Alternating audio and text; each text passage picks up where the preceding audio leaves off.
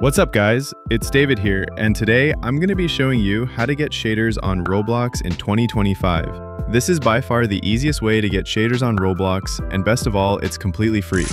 So don't worry, you will not have to pay a single cent to use the shader unlocker. I've personally been using this shader unlocker for the past few months and haven't had any issues with it. Without further ado, let's get into the tutorial.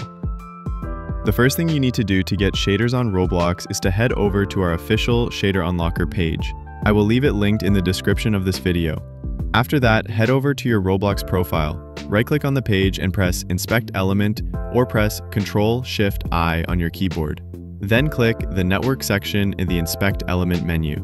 If the Network tab does not show up, then click the two arrows facing right and it will show up.